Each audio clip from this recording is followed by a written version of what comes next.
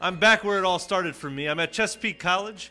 We're in the Cadby Theater, and weird things are going on right now, just like my experience in colleges. What are y'all doing? So this is the Emperor of the Moon. This is our college play this semester.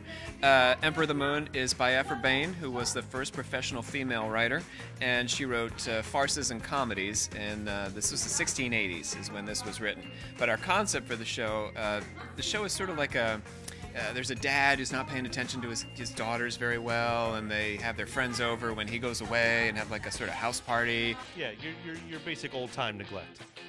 Yes. Yes, yes, Yes. yes. yes. We've all been there. Absolutely. So uh, it feels very much like a 90s movie.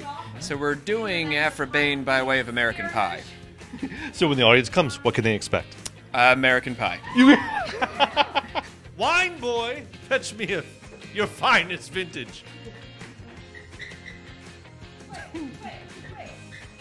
Oh, that was really good. I'm thoroughly impressed by how quickly this arrived. Nice. To theater. Some, something neat for the students to really sink their teeth into this semester, right? Yeah, yeah, they got that classic old schooly 1680s style play, but then they got, I mean, they're remembering the 90s, which none of them can do. Yeah, well, well, they were They weren't here, right? This is my first group of students who wasn't actually born in the 90s. Man, Rob, we're getting old. yes, we are, Bruce. I guess we better watch the show and reminisce. That's what we're doing. Yes.